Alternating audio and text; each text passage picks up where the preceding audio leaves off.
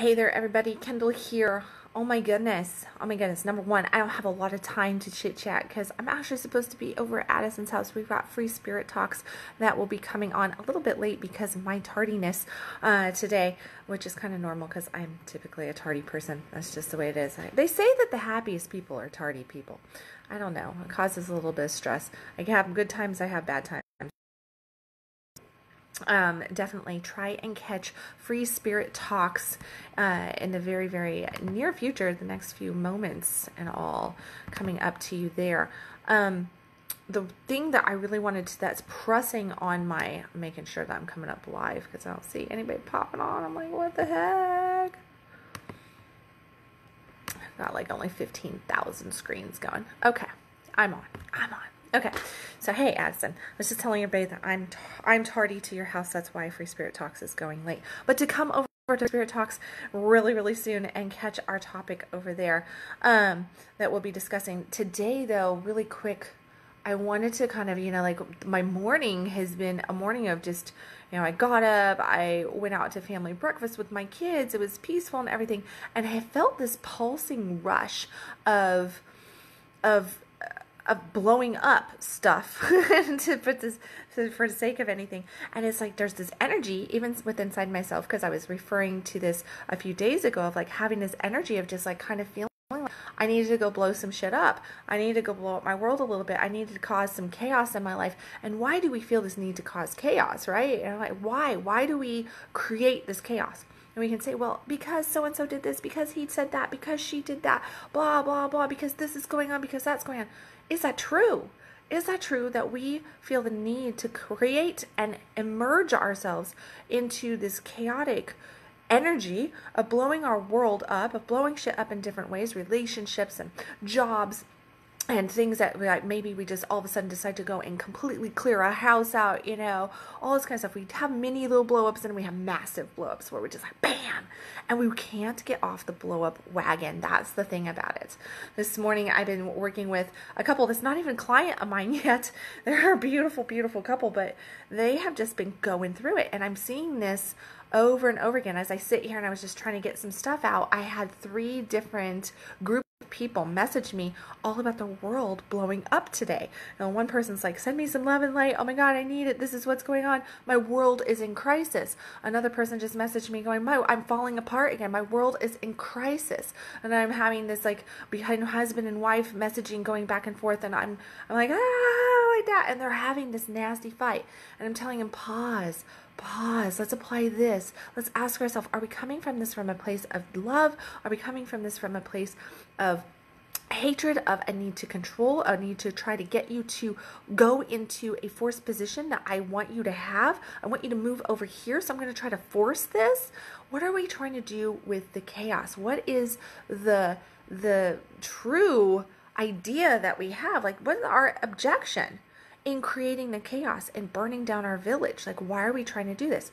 Because all of these people that I've been dealing with, and I would even speak for myself here on this, that, you know, when I say I have this feeling of like, just let me just burn down my forest in this moment, let me clear some path, let me get some, let me get some, you know, just some clearing. I need some purification to the situation, which is what we ultimately are trying to do. We're trying to purify the situation.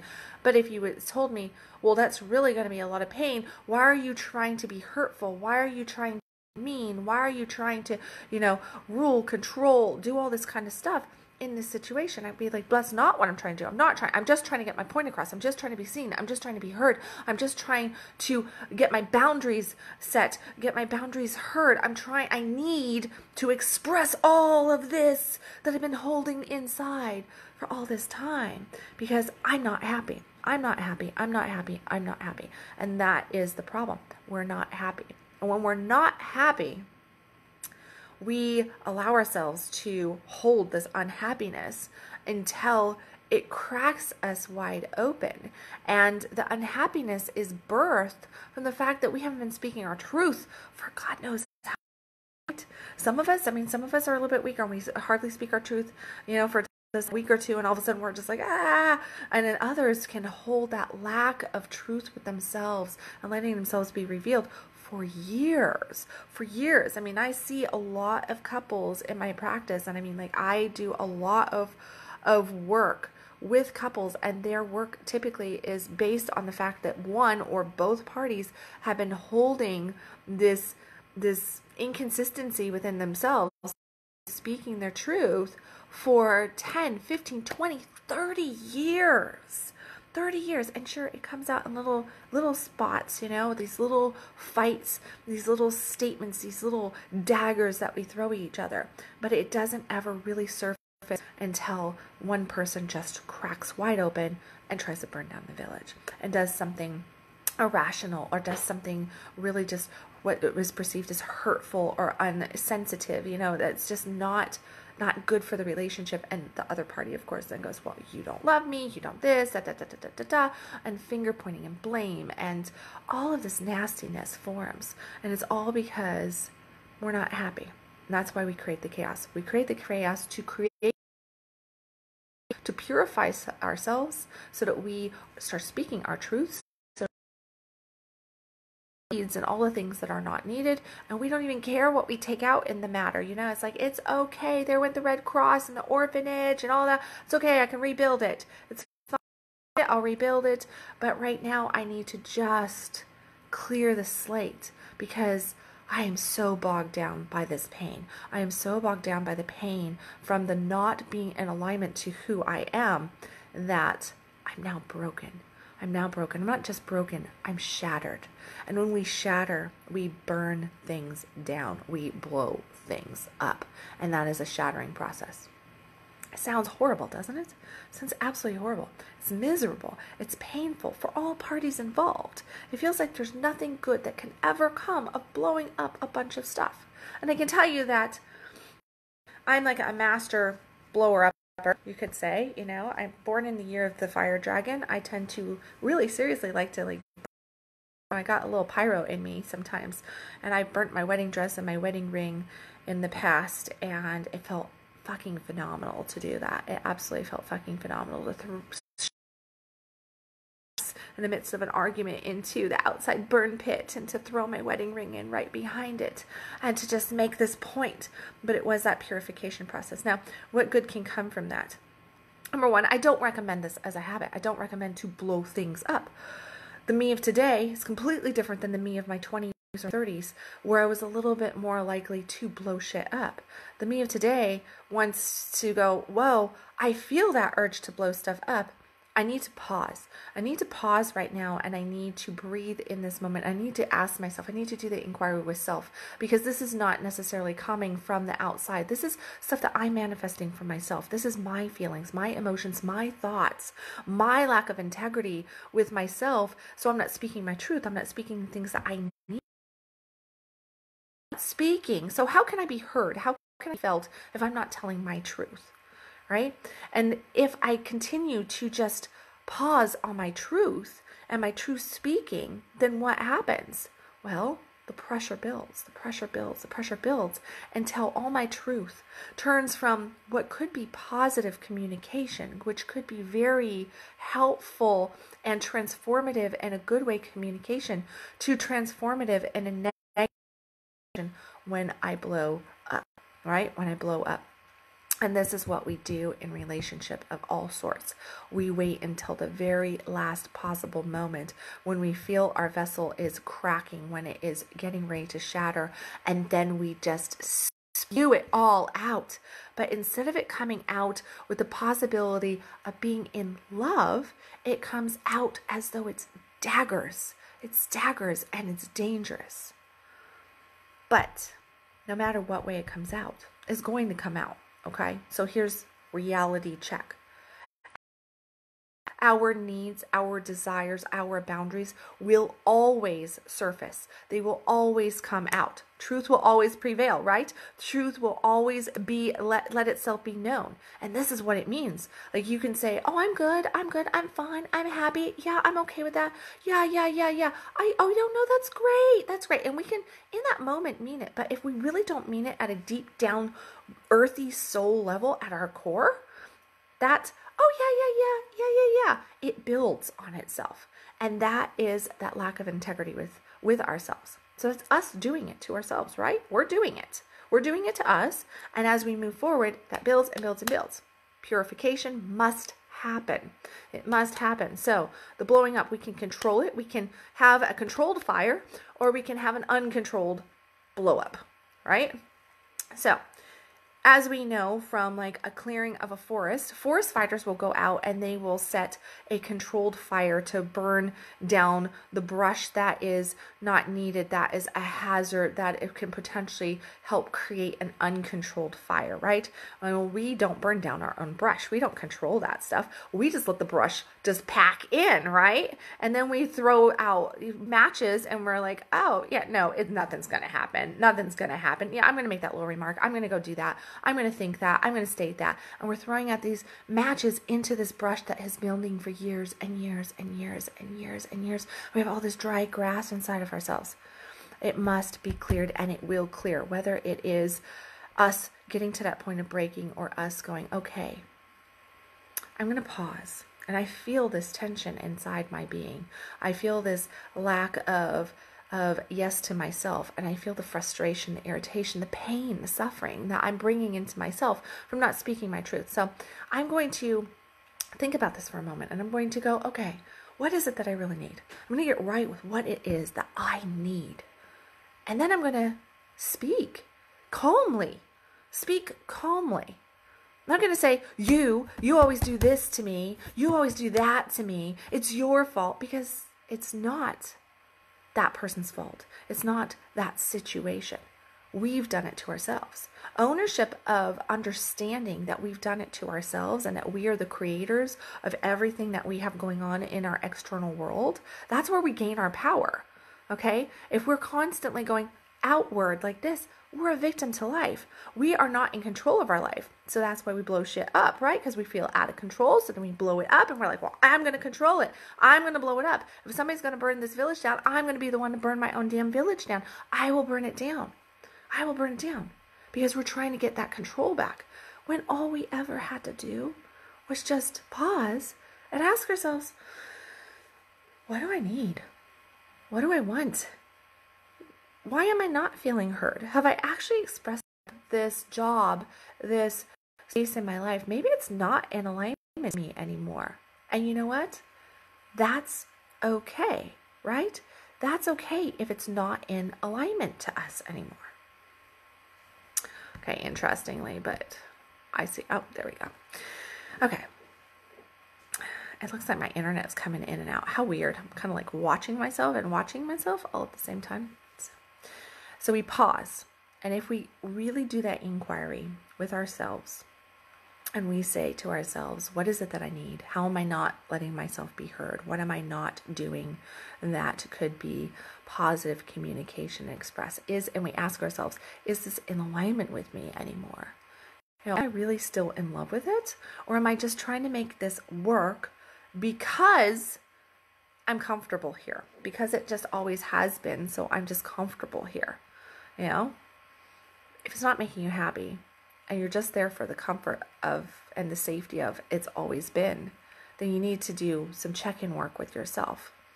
You're never going to become happy with something if you're just there because it's just been there, okay? It's, you know, if you had a pair of pants when you were 15 and they were your favorite jeans, okay? We're going to pick on jeans because both guys and girls have jeans. So it's your favorite pair of jeans and you got them when you were 15 and you just love them. So you kept them and now you're 45 and you still have that favorite pair of jeans and they sit in your closet and you go in there and you're like, oh, these are my favorite jeans still. I love these jeans. Oh, yeah, yeah, yeah, yeah, yeah. But eh, you're keeping them why? Because of the memory? because you've always had them and at this point you're like well i've had them for the last 30 years so a piece of me. It's a piece of me. I can't get rid of them no. But if you put them on yeah they just don't quite feel right anymore. It's not you. That was 15 year old you. It's not 45 year old you. It's not quite right. Still like them but it's not really in alignment to you. You've changed so much right so do you just keep the pants and do you keep revisiting and walking into your closet every day and holding up those jeans and trying to get yourself to go, oh no, I'm going to wear these jeans today. Yep, no, I'm going to wear these jeans today. I'm going to wear these jeans today. So, man, back then I was this size, and now today I picked up, you know, I'm a little extra weight here. I've got a little love handle here. I wish they looked as good on me as they used to. And then you start to beat yourself up. So it starts to make you feel bad about yourself because now you're focusing in on a version of you that is of the past, something of you that is on the, of the past. And now it's just like, well, I wish that I was that. I wish that this was that. I would, da, da, da, da. But we do this in our relationship. We look at our relationships with money, with people, with our lovers, with you know our work, with all with our health, with everything. Because everything is relationship, and we look at it from this perspective of when it was good and how it's not good now, and now I, I wish that it was that way, so I'm going to stick with it right here, and I'm going to be about it not being the way it was. I mean, mad about it that it's not the way it should be in my mind. I want I want it to be that way. It used to be that way. So now you just need to jeans, you just need to change. You need to change jeans. You need to adapt yourself to to help me feel better about me today. That's what. Yeah. No. No. Those jeans aren't in alignment anymore, right? Jeans aren't in alignment anymore. This old version of you. That's the old energy level of you. Your old frequency. Some things, like those with when they're no longer in alignment, when they no longer fit our lives and fit who we are. Other things, we can say, what are the changes that I need to make? How can I speak my truth? How can I show up differently so that I can so I can make this healthy again? Before can I have a controlled fire? a fire where I'm speaking my truth, where yes, it might feel heated, yes, it might be boundary pushing, yes, it might be very revealing, but I can have this transformation without burning down my village and the 10 villages around it. We can have that, but it requires us to do the work of the noticing that we need to pause. And it is the pause that allows us the space to actually lean in and go, oh, oh, I'm responsible for this. I'm responsible coming to me. I'm responsible for my truth not being spoken. I'm responsible for not being seen, for not being heard, for not being felt, because I keep answering this way. I keep showing up this way. Recognize your responsibility to where you're at in your life. Recognize how your unhappiness is yours and you were the creator of it. You can play victim all damn day long and you can say, yeah, well, Kendal, if that hadn't happened, if that person hadn't done that, and if that hadn't happened with my work, and if I had more money in the bank, and if I felt better with my body, and blah, blah, blah. That's all victim stuff. All victim stuff. You can say that, and you can continue on the path that you are on not making any changes and continuing to be unhappy. And you can change and you can blow up your world. But the reality is, after that blow up, because you don't really fully understand who sowed the seeds of the forest that you just blew up, you're the seed sower, right? And if you don't understand that you sowed those seeds, that you were the creator of that forest. So you blow it up and you replant a new forest with the same ideas, the same structures that you planted the first one in, you're going to reap the same results. Own your responsibility in your own unhappiness. Own your responsibility in your blow up. Own your responsibility in speaking your truth. I ask you today, and then I'm going to let you go because then I'm running over to Addison's house to do free spirit talks. So Addison, I'm on my way. I'm going to ask you today to to really look within yourself and ask yourself where you're unhappy. Why am I unhappy? Where am I unhappy? These are your journal prompts for today. Why am I unhappy? Where am I unhappy? And how is it continuously serving me in my present moment? What are the things that I need to do to take responsibility for my life and what is manifesting in it. How can I better speak my truth? I want you to ask yourself those. How can I better speak my truth?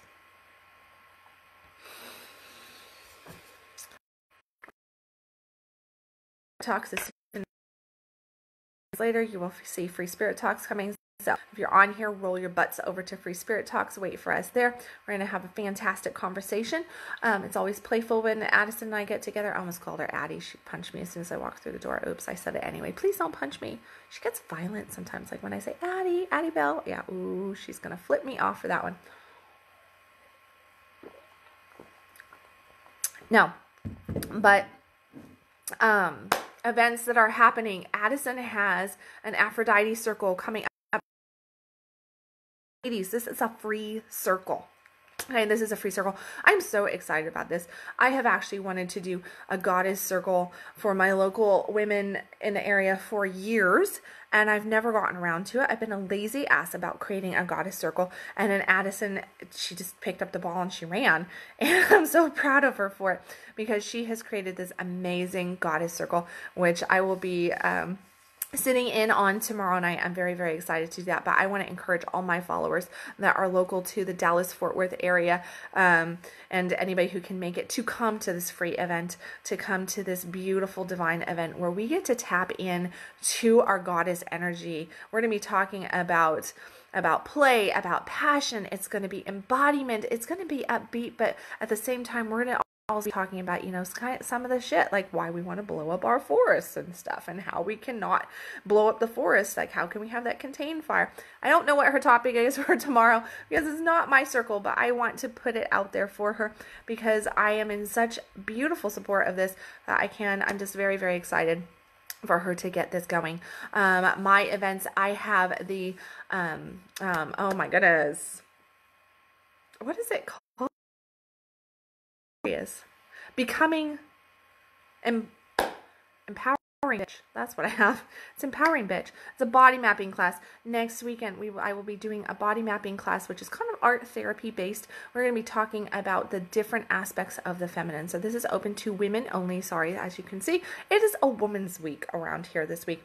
So we have an embody um the body mapping class and we're going to be going through our inner child. We're going to be going through our motherly aspects. We're going to be going through the seductress the siren and we're going to be going through the wise old woman. If you are a woman in the dallas fort worth area this is a beautiful beautiful workshop. Women only small group limited number of women and this is going to be such a powerful and body that we are going to be going through with the beautiful art practice blended with it so that we can really take what is up in here, in here, all of this stuff from the critical mass of what us women get and move this into this picture of art using our bodies so we're going to be talking about like our minds and our hearts and our eyes and whoever this is who's trying to call me right now.